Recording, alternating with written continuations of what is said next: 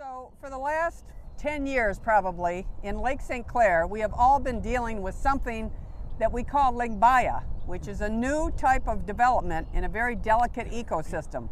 Nobody knows what's causing it, but it is causing all kinds of headaches all the way along the shoreline in various areas of uh, Lake St. Clair in particular.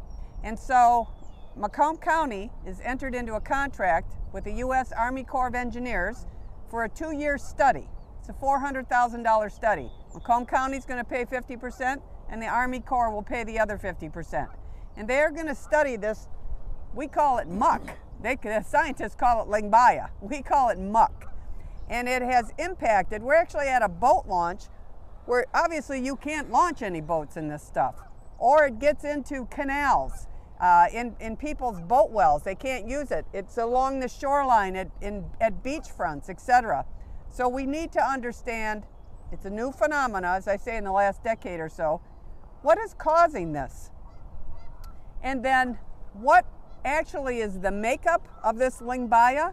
And then are there steps that we can take, preventative ste- steps or certainly maintenance steps, to try to eradicate it or at least to live with it in some way? It's, as I say, a new phenomena that's happened here. And so Macomb County is, uh, we're bucking up. we are along the shoreline here. We're very focused on Lake St. Clair and water quality. We're concerned about this stuff for our residents and others that recreate here in, in our beautiful Lake St. Clair. And, uh, and so we are, the Public Works Office is uh, partnering, as I say, with the Army Corps of Engineers. But the money came from our Macomb County Board of Commissioners in a unanimous vote.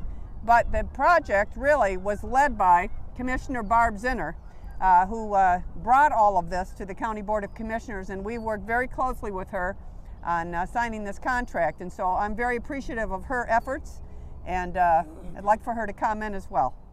Uh, thank you, Commissioner. And um, I also would like to thank the citizens who brought this to me out of concern for their, their health and welfare.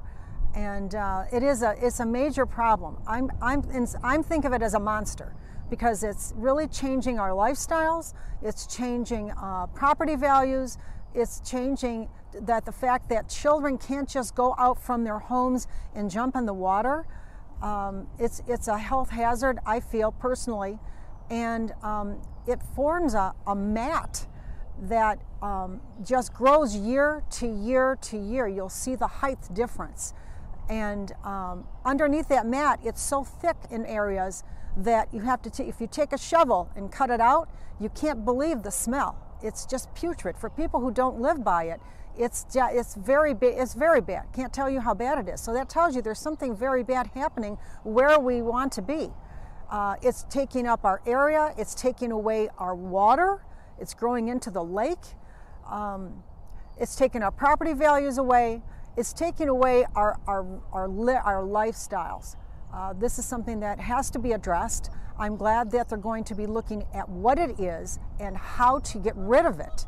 And then I'm hoping, I can't wait for the day when we can get it all out of here, burn it up so we don't see it anymore, and they know why, what it is, so we won't have to have it again. So, anyway, we're uh, undertaking this study, and uh, we'll see what is causing this. Listen, I don't know if it's climate change, I don't know if it's zebra mussels. It's not like a duckweed that we all had when we were kids. We all live on the lake here, or, or certainly recreate in the lake.